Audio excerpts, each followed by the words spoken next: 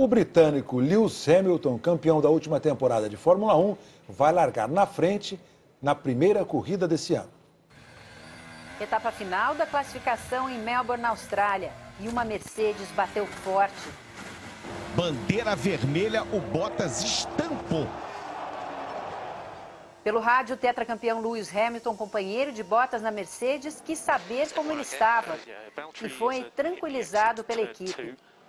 Valtteri Bottas está bem. O que ele não garante é que o carro vai estar no grid na corrida. O estrago foi grande.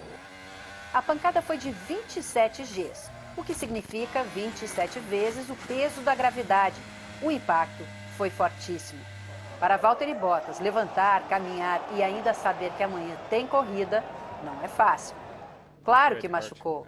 Onde eu pergunto? É difícil até de descrever. Foram 27 Gs, né? Mas fizemos todos os exames e não tem nada de grave. O inglês Lewis Hamilton vai largar na primeira posição. Ele fez o melhor tempo, seis décimos de segundo mais rápido que Kimi Raikkonen da Ferrari. É a sétima pole position dele na Austrália. O grid de largada ficou assim: Hamilton em primeiro, Kimi Raikkonen da Ferrari em segundo, Sebastian Vettel, companheiro de Kimi, em terceiro, Max Verstappen da RBR em quarto, em quinto, Kevin Magnussen da Haas e em sexto, Romain Grosjean, também da Haas.